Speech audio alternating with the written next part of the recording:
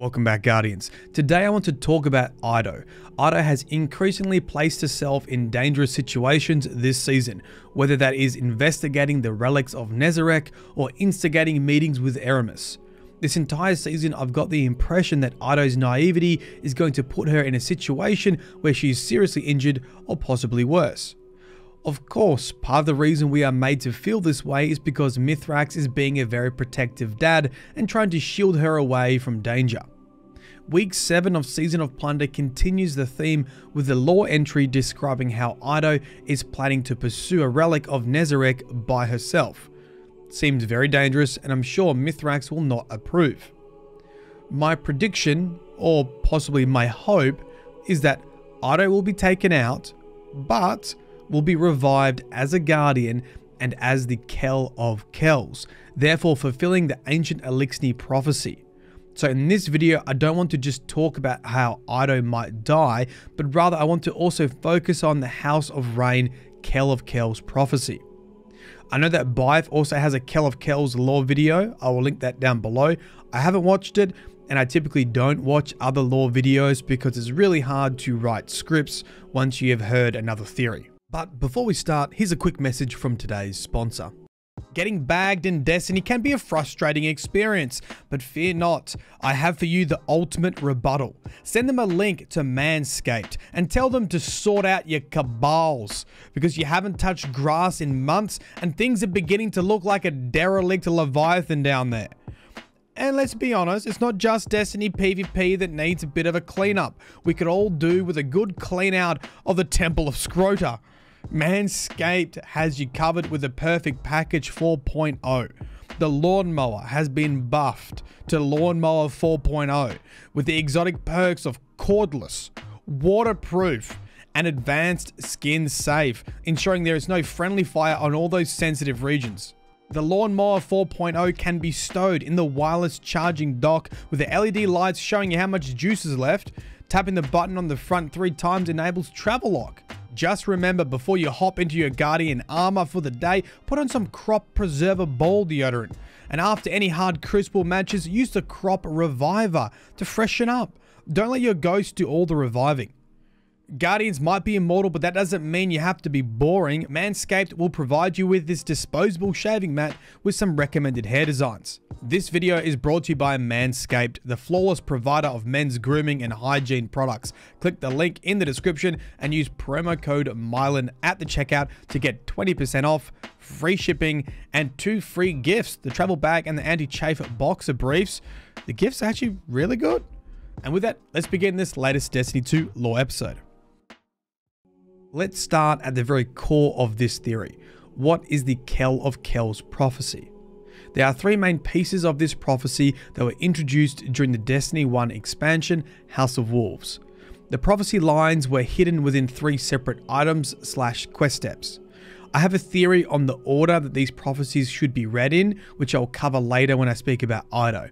But for the moment, have a listen to the Kell of Kells prophecies. What Whirlwind whisked away will be rewrought, and every Kell and Ketch will kneel to the Kell of Kells. Prophecy, House of Rain. Before him, foes will flee or fall, but he will heal the houses, make them whole. Prophecy, House of Rain. The great machine will marvel, moved by might, and come to crown him Kell of Kells. Prophecy, House of Rain.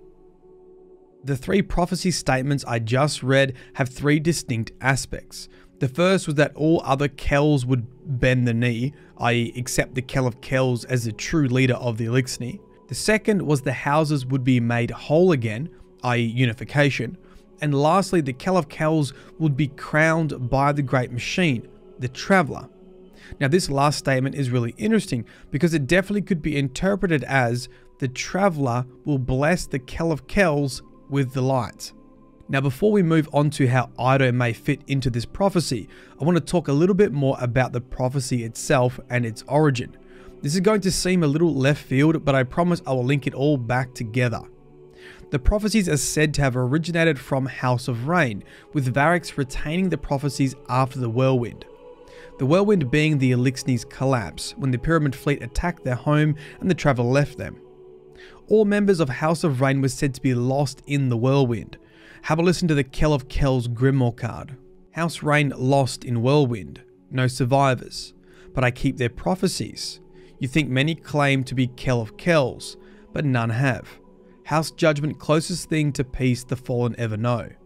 Now this sequence of events may sound confusing, and it is, because one of the prophecy lines I read before referenced the whirlwind, and if House of Rain were wiped out by the whirlwind, how could they reference it? They're all dead.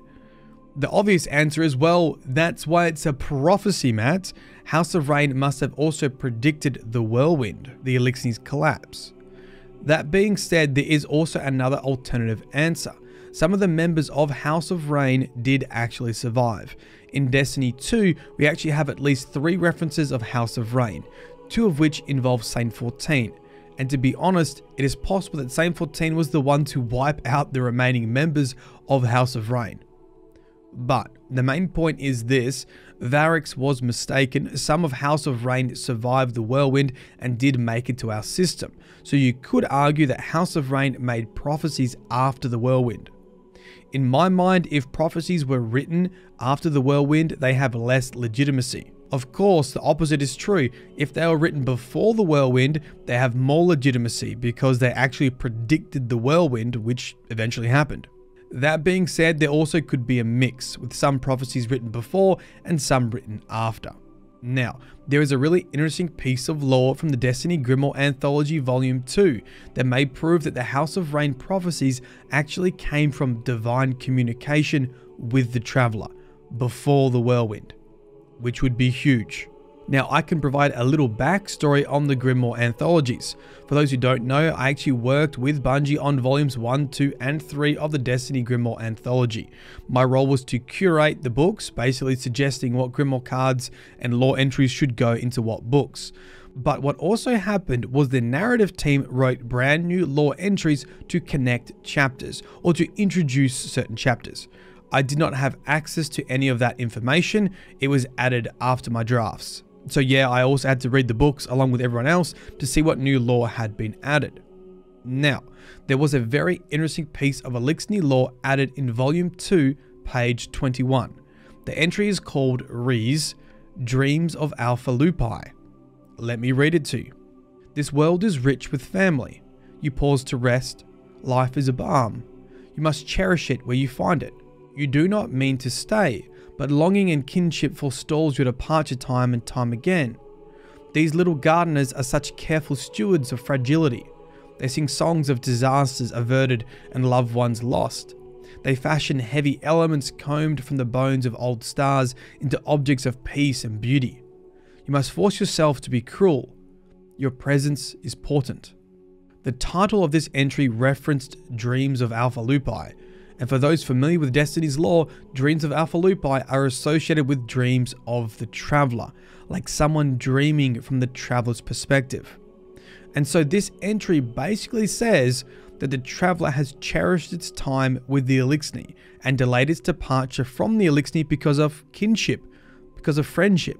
It also says that the Traveler must be cruel and leave because the Traveler's presence is portent, which is a sign or a warning before a calamitous event.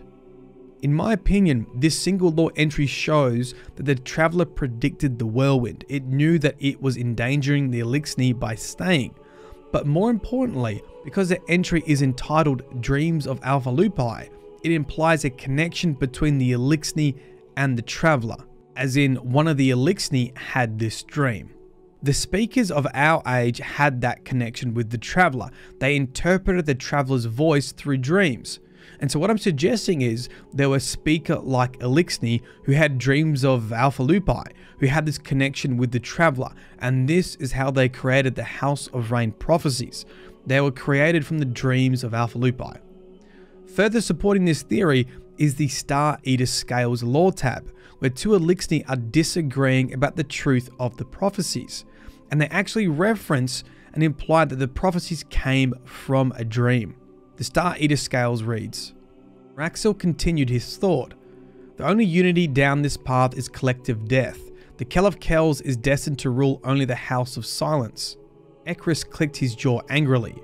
Why would Eliksni dream of this Kell if the dream only harm us? Maybe we didn't, Raxel said with a devilish grin. Maybe something else dreamt it for us to keep us apart. On an interesting side note, this lore entry could potentially be used as evidence for the opposite, that the prophecy came from the witness or another ill-intentioned entity that wanted to keep the Eliksni divided. Regardless, you have to admit, the prophecy of Kell of Kells coming from the Traveler itself provides a really cool narrative arc for the Eliksni. The Traveler predicts the whirlwind, the calamitous event to take out the Eliksni. The Traveler knows it needs to leave, so the Traveler gives the Eliksni a prophecy of how to recover, how they need a new leader to unite the Eliksni houses, a Kell of Kells. And when that happens, the Traveler will bless the Kell of Kells with the light.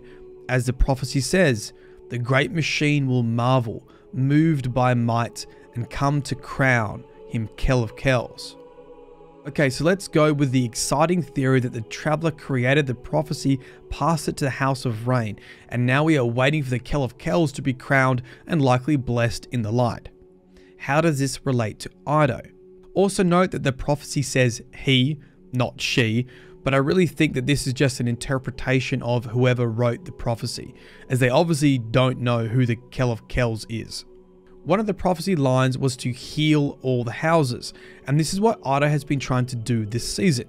She has had a very open communication with Eramis, to the point where Eramis actually respects Eido. Even though Eramis says, don't get in my way, there is respect between the two. And the fact that Eido has been able to open up this communication with Eramis is actually quite impressive. Further, the lore entry from week 7 ends with Eido wanting to seek a Nezarec relic herself, alone. But her motivations are to not seek power, but to seek unity of the Eliksni, by convincing Eramis that there is a future. Have a listen to the lore entry, it reads, Eramis had said she could not turn away from her violence or her vengeance. Eido did not believe that. She could not believe it. This violence was not the Kell spirit, Eido had to find the part of Eramis that did not rage at the past. Eido had to show the Kell of Darkness a future. Silently, the Scribe of House Light began piecing together the coordinates to the next hideout herself. Now, apart from this sounding obviously dangerous, why do I think this could lead to Eido's death? Well, Eido quoted the speaker earlier this season. Specifically, she used the quote about how Guardians are chosen. Have a listen.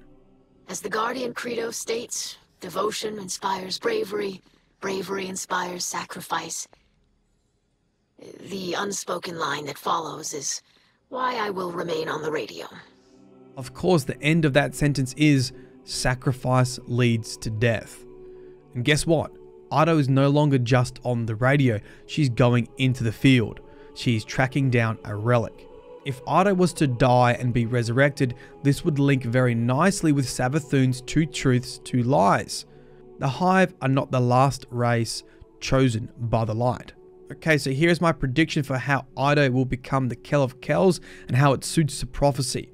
This is my order for the prophecies. 1. Before him, foes will flee or fall, but he will heal the houses, make them whole. Prophecy, House of Rain.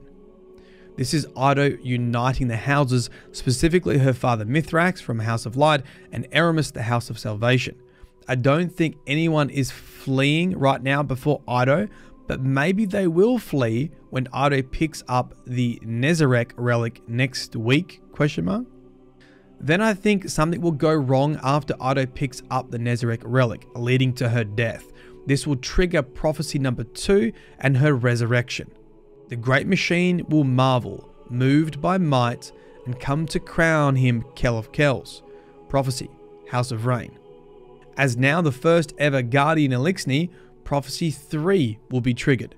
What Whirlwind whisked away will be rewrought, and every Kell and Ketch will kneel to the Kell of Kells.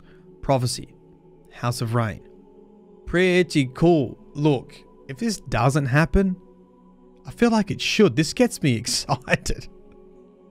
And with that, that concludes this latest Destiny 2 lore episode. If you'd like to support the channel and cannot think of a comment, leave the word Eido, Kell of Kells. As usual, it's been a pleasure. This is Myelin Games. Peace.